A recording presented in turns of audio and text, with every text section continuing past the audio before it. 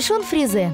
Эта порода декоративных миниатюрных собак была известна еще несколько веков назад. В XVI веке французские бишоны стали особенно популярны среди придворной знати и при королевском дворе. Не менее известна эта порода и у нас. Хотя нужно заметить, что щенок бишона стоит совсем недешево.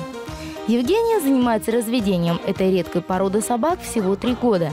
Но несмотря на такой непродолжительный срок, эта милая девушка уже не представляет своей жизни без таких симпатичных и обаятельных питомцев. Мы посещали раньше выставки, ну, в качестве зрителей. И когда я видела вот эту собаку, ну, то сказала, что все. Ну, я просто, это была любовь с первого взгляда. Сказала, что эту собаку обязательно приобрету. Таким образом начала узнавать где-то там по Украине или в других там странах, где есть вот заводчики такой породы. Хотела взять качественную, красивую собаку, чтобы она действительно была бешон фризе. И э, как-то попалась мне вот э, собачка, вот она, это моя самая первая собачка, которую зовут Лучия. Пять малышей и два взрослых бешона способны развеселить абсолютно любого гостя в доме Евгении. Бешон Фризе очень живые, общительные и веселые собачки, обладающие нежной и чувствительной натурой. Они обожают забавлять себя и своих хозяев, нуждаются в большом количестве внимания и любят проводить время с семьей и другими животными. Это собака, которая не умеет быть агрессивной, не умеет быть злой, то есть они абсолютно дружелюбные. Если есть дети, прекрасно.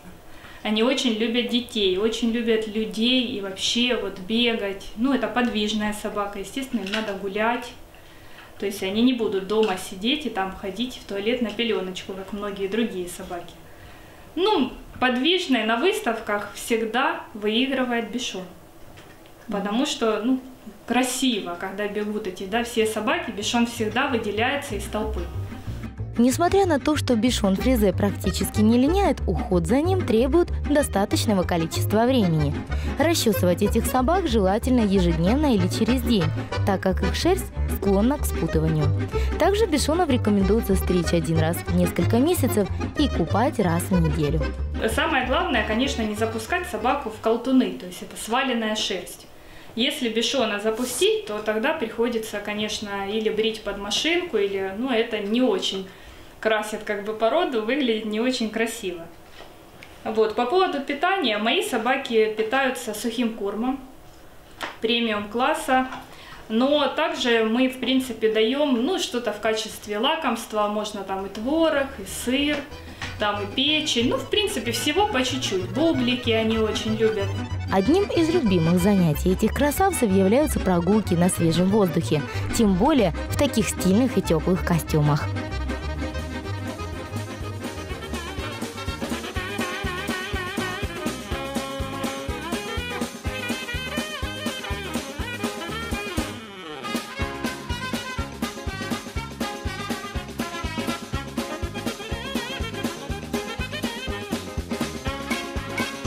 В целом, Бишон Фризе – это замечательная маленькая собачка и прекрасный семейный питомец.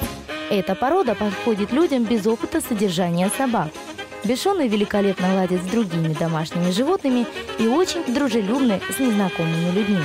Эти собачки способны радовать своих хозяев.